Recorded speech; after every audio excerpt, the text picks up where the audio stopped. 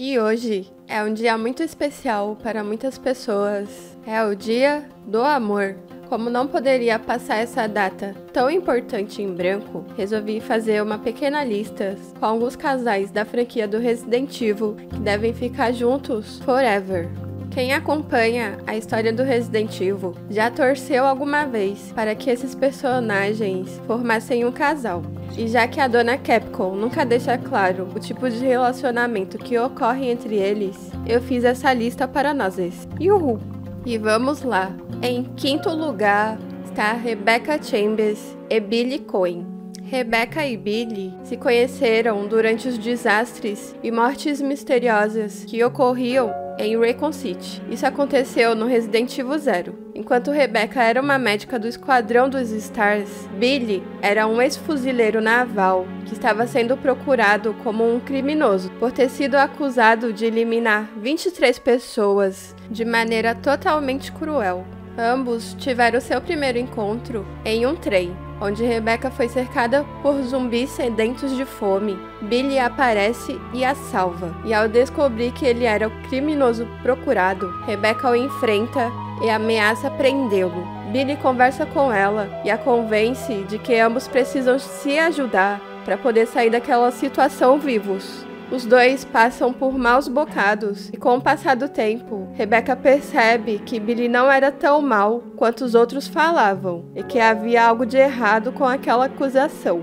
É aí que Billy conta toda a história para ela, que foi acusado injustamente. E ao saber a verdade, Rebecca decide não entregá-lo e o deixa fugir. Nessa jornada, podemos ver um laço muito forte se formando entre eles. Mesmo sendo tão diferentes, fizeram de tudo para se ajudar. Para mim, eles formam um casal perfeito, porque os dois são determinados e corajosos. Tenho certeza que você também queria que eles formassem um casal, pois eles mereciam ficar juntos. Pena que o Billy não teve mais aparições nos demais jogos da franquia. A Rebequinha também foi deixada de lado. Churirau. Em quarto lugar está Ada Wong e Leon Kennedy. Ada e Leon se conheceram durante o surto de zumbis na cidade de Recon City. Enquanto Leon era um policial novato que estava no seu primeiro dia de trabalho, Ada era uma espiã altamente treinada e com muitas habilidades especiais, principalmente a de fazer o Leon de bobo.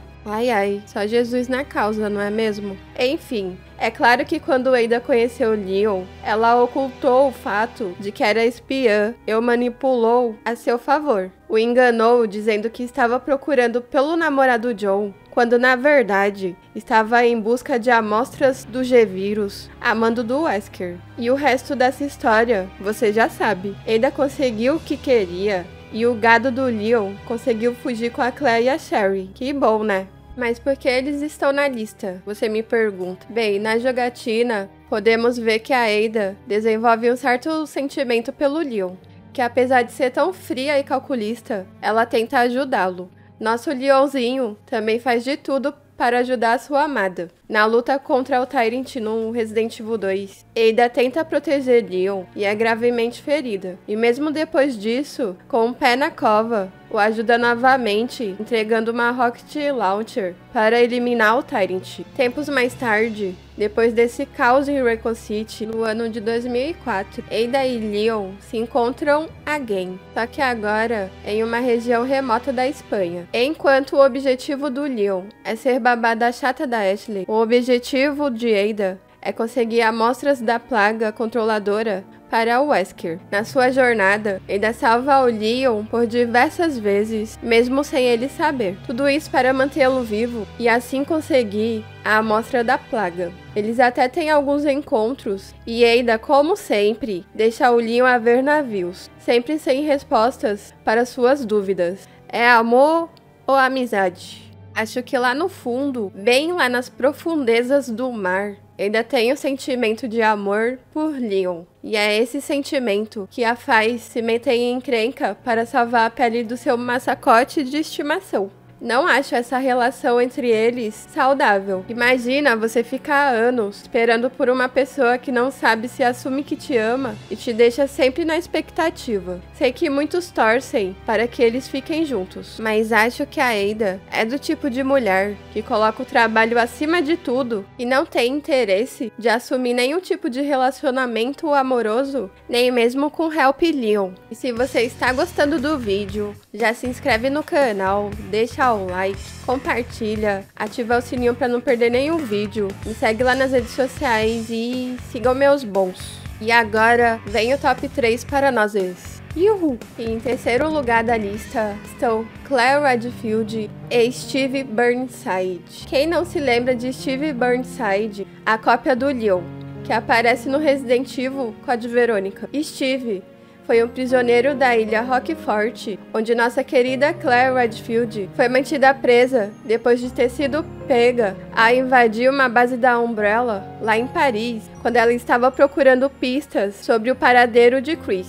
Steve era um rapaz jovem, tinha apenas 17 anos, enquanto Claire tinha 19 anos. Steve encontra Claire em uma parte da prisão quando a confunde com um zumbi. Ele atira e Claire consegue se esquivar com sucesso e mostra não ser uma zumbi ao revidar os tiros. Depois Steve se desculpa e desce da torre para conhecer aquela bela jovem. Vemos que no começo a relação entre os dois não está amigável devido à recepção de Steve, mas conforme o desenrolar da história, ambos desenvolvem um sentimento muito forte de companheirismo e amor. Quem não se lembra das partes em que Steve se desconcentra ao olhar para Claire como boba alegre faz alguma burrice, como quebrar uma parede de tubulação que contém gás tóxico por exemplo, os dois até formariam um belo casal se o Steve não fosse tão infantil e inconsequente nos momentos delicados. Devido a essa atitude infantil, ele perdeu muitas oportunidades de ficar com a Claire.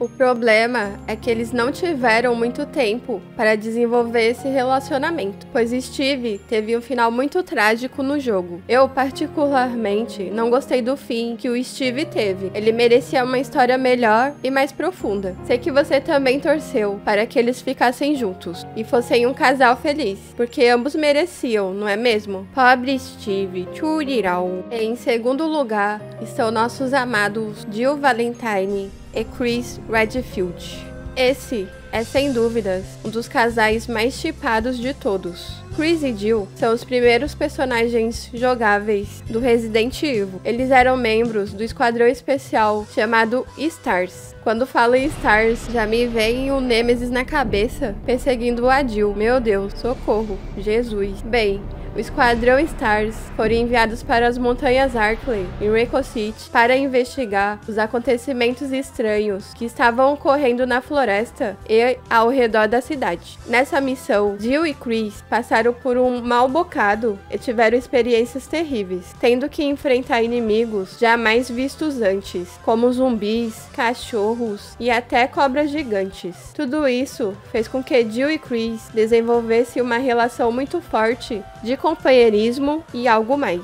O engraçado é que novamente a dona Capcom não deixa claro essa relação entre eles. Sempre ficamos com um ponto de interrogação. Mas uma coisa que mexe com a nossa imaginação é quando em um dos finais do Resident Evil 1, ao conseguir escapar com vida e dentro do helicóptero, Jill e Chris se consolam e dão as mãos. E no Resident Evil Remake, Jill descansa encostando o ombro em Chris. Isso só atiça a nossa vontade de que eles fiquem juntos e se tornem um casal podemos ver que esse laço entre eles ainda se manteve forte quando no Resident Evil 5, Chris descobre que Jill não estava morta depois de ter caído de uma janela na mansão do Spencer ao proteger ele de Wesker. Depois de descobrir que sua companheira estava viva, Chris luta com Wesker novamente e consegue sair com vida da cidade de Kijuju, junto com Jill e Sheva. Depois disso, Jill não aparece nos demais jogos da franquia, e isso nos deixa com muita raiva, porque todos queremos saber como ela está. O certo seria deixar Jill e Chris juntos e serem um casal feliz, pois eles passaram por maus bocados, foram feitos um para o outro. O engraçado é que a Capcom não gosta de ter casais na franquia,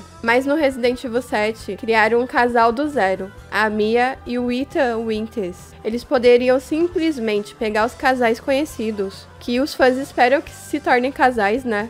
E dar continuidade à história deles, ao invés de inventar tudo do zero e tentar associá-los com outros jogos da franquia. E em primeiríssimo lugar estão. Claire Redfield e Leon Kennedy. Claire e Leon se conheceram no Resident Evil 2, quando se esbarraram nas ruas de Raccoon City. Enquanto Claire estava em busca do paradeiro do irmão Chris, Leon era um policial novato no seu primeiro dia de trabalho. Ao chegarem em Raccoon City, ambos se depararam com a destruição e o caos. Enquanto fugiam dos terríveis mortos de fome, suas vidas se entrelaçaram. Seria o destino agindo? Quando Claire entra em uma lanchonete e se depara com um zumbi que tenta atacá-la, ela corre para a porta dos fundos e dá de cara com Leon, que também havia sido cercado pelos mortos-vivos famintos. Ambos escapam por um beco e encontram uma viatura na qual Leon utiliza para tentar fugir daquela situação. Mas o que eles não sabiam é que havia o morto se fingindo de morto lá dentro, que tenta dar uma mordidinha neles e faz o Leon perder o controle da direção. O resto da história vocês já sabem.